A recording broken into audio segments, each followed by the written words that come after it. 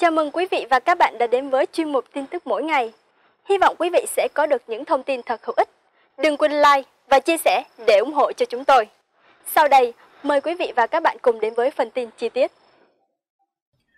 Ngày 9 tháng 10, Việt Nam ghi nhận 4.513 ca nhiễm mới, 105 ca tử vong.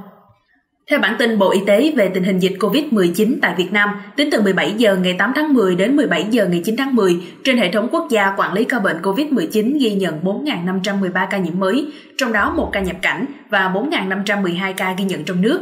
Các tỉnh thành phố ghi nhận số ca bệnh như sau: Thành phố Hồ Chí Minh 1662, Bình Dương 820, Đồng Nai 575, An Giang 308, Sóc Trăng 192, Bình Thuận 122, Kiên Giang 113, Đắk Lắk 85, Đồng Tháp 81, Gia Lai 65, Long An 61, Tây Ninh 57, Cà Mau 54, Tiền Giang 44, Khánh Hòa 41, Hậu Giang 27, Hà Nam 24, Quảng Trị 18, Cần Thơ 18, Quảng Ngãi 15, Bà Rịa Vũng Tàu 14, Bạc Liêu 14, Thừa Thiên Huế 13, Ninh Thuận 12, Vĩnh Long 11, Bình Phước 9, Trà Vinh 8, Bến Tre 7, Thanh Hóa 7, Hà Tĩnh 6, Lâm Đồng 5, Bình Định 5, Quảng Bình 5, Đắk Nông 4, Con Tâm 3, Lào Cai 2, Phú Thọ 2, Nam Định 1, Vĩnh Phúc 1, Hà Nội 1.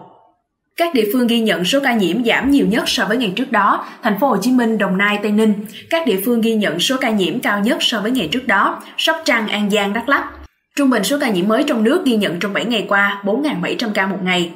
Kể từ đầu dịch đến nay, Việt Nam có 836.134 ca nhiễm, đứng thứ 42 trên 223 quốc gia và vùng lãnh thổ, trong khi với tỷ lệ số ca nhiễm trên 1 triệu dân, Việt Nam đứng thứ 155. Đợt dịch thứ tư, số ca nhiễm mới ghi nhận trong nước là 831.523 ca, trong đó 755.622 bệnh nhân được công bố khỏi bệnh. Có 9 trên 62 tỉnh, thành phố đã qua 14 ngày không ghi nhận trường hợp nhiễm mới. Bắc Cạn, Tuyên Quang, Lai Châu, Hòa Bình, Hà Giang, Thái Nguyên, Điện Biên, Hải Phòng, Thái Bình, có 10 tỉnh, thành phố không có ca lây nhiễm thứ phát trên địa bàn trong 14 ngày qua. Quảng Ninh, Vĩnh Phúc, Bắc Giang, Phú Thọ, Ninh Bình, Bắc Ninh, Lạng Sơn, Sơn La, Yên Bái, Lào Cai. Các địa phương ghi nhận số ca nhiễm tích lũy cao trong đợt này: Thành phố Hồ Chí Minh, Bình Dương, Đồng Nai, Long An, Tiền Giang. Tình hình điều trị, số bệnh nhân được công bố khỏi bệnh trong ngày 1.319, tổng số ca được điều trị khỏi 760.801, số bệnh nhân nặng đang điều trị 5.014, thở oxy qua mặt nạ 3.391, thở oxy dòng cao HFNC 788, thở máy không xâm lấn 145, thở máy xâm lấn 668, ECMO 22. Trong ngày ghi nhận 105 ca tử vong. Tại thành phố Hồ Chí Minh 74, Bình Dương 18, An Giang 5, Đồng Nai 3, Tiền Giang 2, Tây Ninh 2, Hà Nội 1. Trung bình số tử vong ghi nhận trong 7 ngày qua là 119 ca.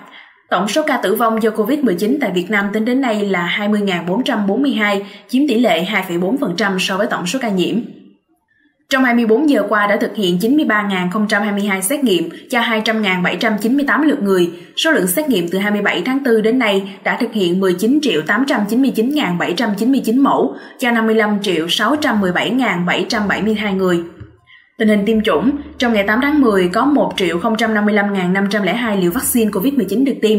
Như vậy, tổng số liều vaccine đã được tiêm là 51.968.108 liều, trong đó tiêm một mũi là 37.725.480 liều, tiêm mũi 2 là 14.242.628 liều. Những hoạt động của Bộ Y tế trong ngày Bộ Y tế xây dựng hướng dẫn và kế hoạch triển khai tiêm vaccine COVID-19 cho trẻ từ 12 đến 17 tuổi. Ngày 8 tháng 10, Sở Y tế thành phố Hồ Chí Minh có văn bản gửi đến các cơ sở y tế trên địa bàn thành phố Hồ Chí Minh về việc hướng dẫn xét nghiệm COVID-19 tại các cơ sở khám chữa bệnh trong tình hình mới. Thành phố Hồ Chí Minh xây dựng lộ trình ngừng hoạt động đối với các bệnh viện giải chiến thành phố đã hoàn thành nhiệm vụ. Theo đó, dự kiến các bệnh viện giải chiến thành phố lần lượt ngừng hoạt động vào cuối tháng 10, tháng 11 và tháng 12 2021 tỉnh Quảng Ninh sẵn sàng tạo mọi điều kiện hỗ trợ tối đa để đón tất cả công dân của tỉnh và gia đình đang sinh sống làm việc tại khu vực phía Nam có nhu cầu trở về địa phương, trong đó có xét nghiệm COVID-19 miễn phí. Các bệnh viện giả chiến tại thành phố Hồ Chí Minh lần lượt ngừng hoạt động. Sáng ngày 9 tháng 10, Sở Y tế thành phố Hồ Chí Minh công bố lộ trình chuyển đổi công năng, tái cấu trúc hoạt động của các bệnh viện giả chiến, trung tâm hồi sức người bệnh COVID-19 trên địa bàn. Giữ lại 4 bệnh viện giả chiến, Tính từ đầu tháng 7 đến nay, thành phố đã thành lập 16 bệnh viện giả chiến với quy mô khoảng 37.000 giường. Nhiệm vụ chính là tiếp nhận, điều trị F0 không có triệu chứng hoặc có biểu hiện nhẹ. Tính đến ngày 8 tháng 10, thành phố ghi nhận 9.443 F0 đang điều trị tại các cơ sở này. Sở Y tế thành phố Hồ Chí Minh cho biết các bệnh viện giả chiến được trưng dụng từ khu nhà tái định cư, ký túc xá của trường đại học, cao đẳng nên không thể sử dụng lâu dài, nhất là trong bối cảnh dịch bệnh cơ bản được kiểm soát, học sinh sinh viên bắt đầu trở lại học tập. Các bệnh viện giả chiến thành phố lần lượt ngừng hoạt động vào cuối tháng 10, tháng 11 và tháng 12 năm nay. Riêng bệnh viện giả chiến số 3, số 6, số 8 ở khu tái định cư Thủ Thiêm, An Khánh, thành phố Thủ Đức là những cơ sở ngừng hoạt động cuối cùng dự kiến vào cuối tháng 12. Nguyên nhân là những bệnh viện này đã được đầu tư hệ thống oxy lỏng, giường hồi sức để tiếp nhận F0 nặng. Ngoài ra, Bệnh viện Giả chiến số 5 cũng trong danh sách cơ sở giả chiến ngừng hoạt động sau cùng. Bệnh viện này cũng phụ trách tiếp nhận các trường hợp F0 mức độ nhẹ và trung bình từ các bệnh viện trong khu vực trung tâm thành phố. Bệnh viện giả chiến quận huyện tiếp tục duy trì. Theo Sở Y tế thành phố Hồ Chí Minh, trong giai đoạn cao điểm của dịch bệnh, một số quận huyện đã chủ động thành lập bệnh viện giả chiến trên địa bàn, giúp điều trị F0 có triệu chứng và góp phần giảm tải cho các bệnh viện thành phố. Tính đến ngày 8 tháng 10, thành phố Hồ Chí Minh có 15 bệnh viện giả chiến quận huyện đi vào hoạt động với tổng quy mô gần 7.000 giường. Mô hình bệnh viện giả chiến quận huyện ngày càng phát huy hiệu quả trong giai đoạn hiện nay, nhất là trong giai đoạn chuyển đổi công năng khám chữa bệnh của các bệnh viện. Do đó, thành phố Hồ Chí Minh vẫn rất cần các bệnh viện giả chiến của quận huyện để tiếp tục cách ly F0 mới không đủ điều kiện cách ly tại nhà. Theo kế hoạch, các quận huyện sẽ thành lập bệnh viện giả chiến với quy mô từ 300 đến 500 giường một bệnh viện.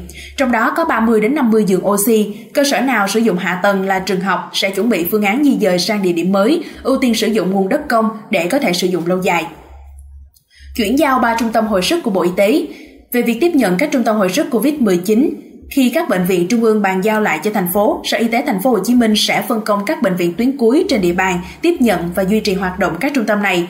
Được sự đồng ý của Bộ Y tế, Bệnh viện Đại học Y Dược thành phố Hồ Chí Minh sẽ tiếp nhận trung tâm hồi sức tích cực thuộc bệnh viện Hữu Nghị Việt Đức Bệnh viện Nhân dân Gia Định tiếp nhận trung tâm hồi sức trực thuộc bệnh viện Bạch Mai.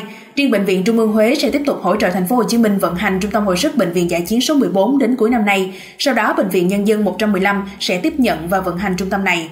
Theo kế hoạch, Sở Y tế thành phố Hồ Chí Minh sẽ tham mưu Ủy ban nhân dân thành phố triển khai mô hình bệnh viện giải chiến 3 tầng tại các bệnh viện giải chiến số 16, 13 và 14 tương ứng với các trung tâm hồi sức nằm kế cạnh.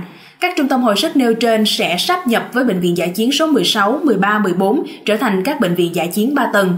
Sở Y tế sẽ điều động luân phiên nhân viên y tế từ các cơ sở y tế đa khoa, chuyên khoa thành phố, quận, huyện đến bệnh viện này công tác. Sở Y tế thành phố Hồ Chí Minh nhấn mạnh, mặc dù các cơ sở này gần như hoàn thành sứ mệnh trong giai đoạn dịch bệnh của thành phố, việc duy trì bệnh viện giải chiến là nhu cầu tất yếu trước mắt, cũng là chiến lược lâu dài trong tình hình mới. Số ca tử vong vì Covid-19 ở thành phố Hồ Chí Minh giảm kỷ lục trong gần 2 tháng qua.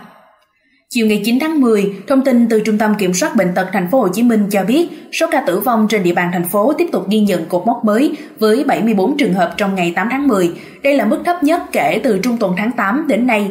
Ngành y tế thành phố đánh giá đây là tín hiệu đáng mừng khi hiệu quả từ việc tiêm vaccine đã giúp giảm số ca mắc mới và giảm tình trạng diễn tiến nặng, tử vong.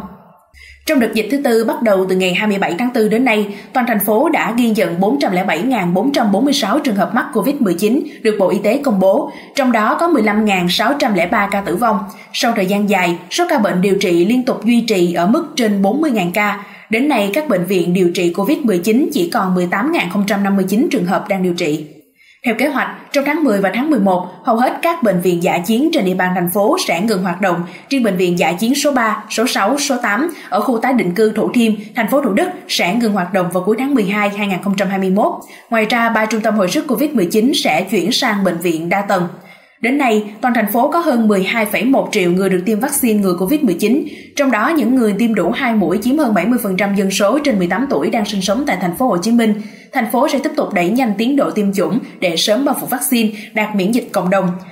Căn cứ trên tiến độ tiêm chủng và tình hình dịch bệnh từ nay đến 15 tháng 10, thành phố sẽ có những phương án phù hợp hơn, chuyển đổi từ trạng thái bình thường mới sang giai đoạn bình thường để mở cửa phát triển kinh tế xã hội.